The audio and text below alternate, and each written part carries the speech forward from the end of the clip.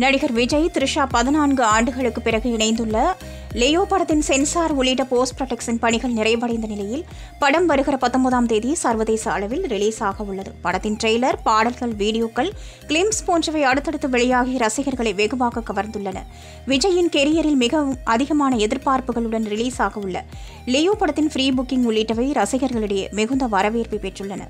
தமிழகத்தின் இப்படத்தின் free booking வரும் பதினைந்தாம் தேதி முதல் துவங்க உள்ளதாக படத்தின் தயாரிப்பாளர் லலித்குமார் தெரிவித்திருந்தார். மேலும் படத்தின் ஃப்ரீ ரிலீஸ் நிகழ்ச்சி துபாயில் நடத்தப்பட உள்ளதாகவும் அதில் ரசிகர்களிடையே வீடியோ கால் மூலம் விஜய் பேசவுள்ளதாகவும் கூறப்பட்டுள்ளது. மேலும் இப்படத்தின் ட்ரெய்லர் சில தினங்களுக்கு முன்பு வெளியானது.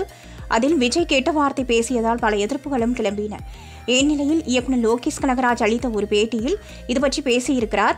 விஜயை தான் தான் கட்டாயப்படுத்தி அந்த வார்த்தையை பேச வைத்ததாக கூறியிருக்கிறார். இதற்கு நான் தான் முழு பொறுப்பு என்றும் லோகேஷ் குறிப்பிட்டிருக்கிறார். இந்த மாதிரி நியூஸை கண்டினியூஸாக கேட்க ராஜ் டியூப் சேனலுக்கு லைக் பண்ணுங்க ஷேர் பண்ணுங்க சப்ஸ்கிரைப் பண்ணுங்க பெல் பட்டனை ப்ரெஸ் பண்ண மறந்துடாதீங்க.